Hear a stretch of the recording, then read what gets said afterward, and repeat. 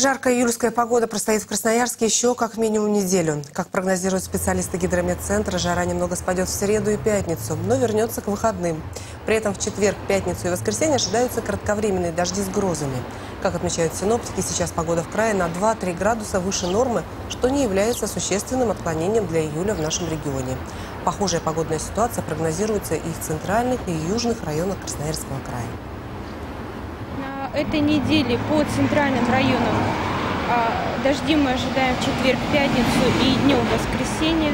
Местами грузы, в остальные дни без осадков.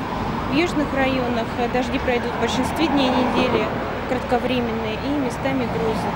Температуры ночные будут колебаться от 11 до 18, дневные 25-30 и в отдельные дни до 33.